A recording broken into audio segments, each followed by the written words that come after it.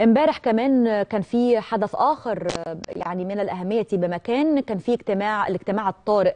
لوزراء الخارجية العرب اللي عقد بمقر جامعة الدول العربية في القاهرة. الحقيقة إنه كان في كلمات كثيرة ألقيت، كان في طبعا رفض عام لقرار ترامب. هنقول لحضراتكم نص البيان الختامي اللي يعني الحقيقة إنه صدر يعني في الساعات المتأخرة من مساء أمس، لكن تعالوا الأول نسمع جزء من كلمة السيد أحمد أبو الغيط أمين عام جامعة الدول العربية.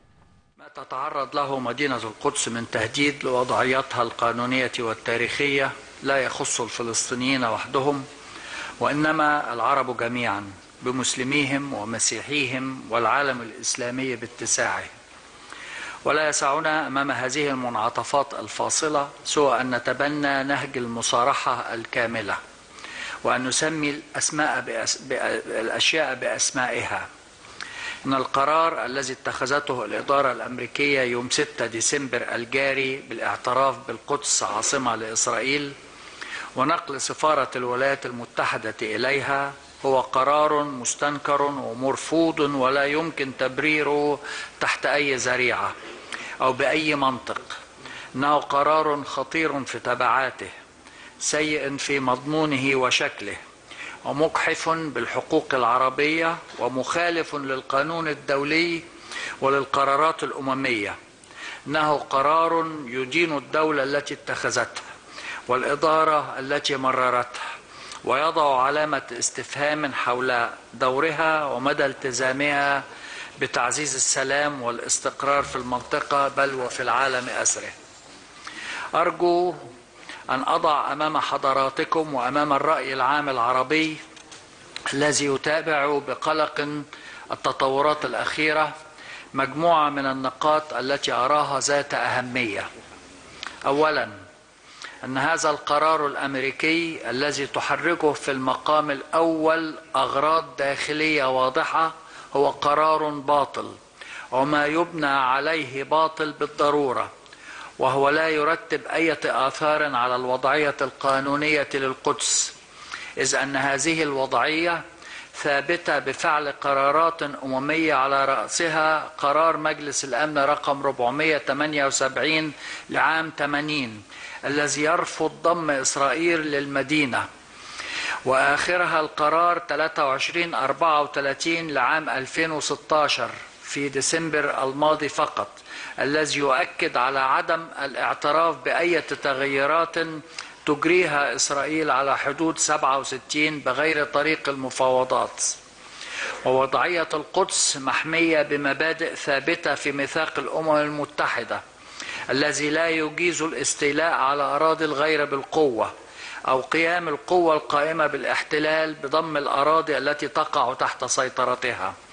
القدس في نظر القانون الدولي هي أرض محتلة لا سيادة لدولة الاحتلال عليها واعتراف الولايات المتحدة بهذه السيادة ونقلها لسفارتها إلى المدينة لا يغير من هذه الحقيقة شيئا ولا ينشئ أي أثر قانوني في تغيير وضع القدس كأرض محتلة وإلا كانت القوة هي التي تصنع الحق.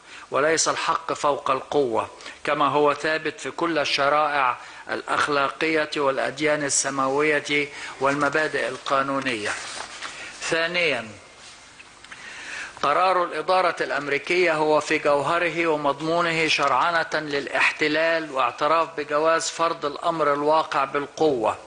وإهدار للشرعية الدولية ومبادئ العدالة وبالتالي فهو يضع من اتخذه في حال تناقض صارخ مع الإرادة الجماعية للمجتمع الدولي.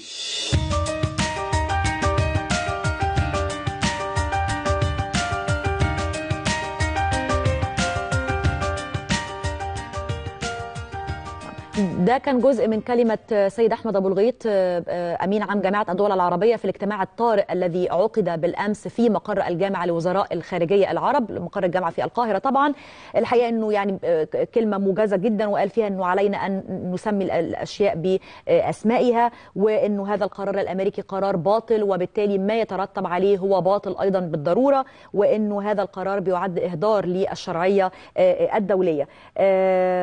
الحقيقة أنه البيان الختامي زي ما بقول لحضراتكم الناس يعني كانت كان الجميع في انتظار البيان الختامي اللي صدر في ساعات متأخرة من مساء أمس أكد البيان الختامي لمجلس جامعه الدول العربية عقب الاجتماع الطارئ على مستوى وزراء الخارجية العرب على السعي لاستصدار قرار من مجلس الأمن يؤكد أن قرار أمريكا الاعتراف بالقدس عاصمة لإسرائيل يتناقض مع قرارات الشرعية الدولية. وطلب وزراء الخارجية خارجية الدول العربية الولايات المتحدة بإلغاء قرار الاعتراف بالقدس عاصمة لإسرائيل والانضمام إلى المجتمع الدولي في مطالبتها بإعادة الأراضي الفلسطينية والأراضي العربية الأخرى التي احتلتها في يونيو 67 وقالوا إن القرار الأمريكي بشأن القدس يقوض جهود تحقيق السلام ويعمق التوتر ويفجر الغضب ويهدد بدفع المنطقة إلى هاوية إلى هاوية المزيد من العنف والفوضى وإراقة الدماء وعدم الاستقرار. وأضاف البيان إن الوزراء يؤكدون رفض القرار الأمريكي وإدانته واعتباره قرارا باطلا وخرقا خطيرا للقانون الدولي ولقرارات مجلس الأمن والجمعية العامة للأمم المتحدة. ذات الصلة. كان هذا هو نص البيان الختامي الذي صدر من جامعة أو وزراء الخارجية العرب في اجتماعهم الطارئ بمقر الجامعة العربية.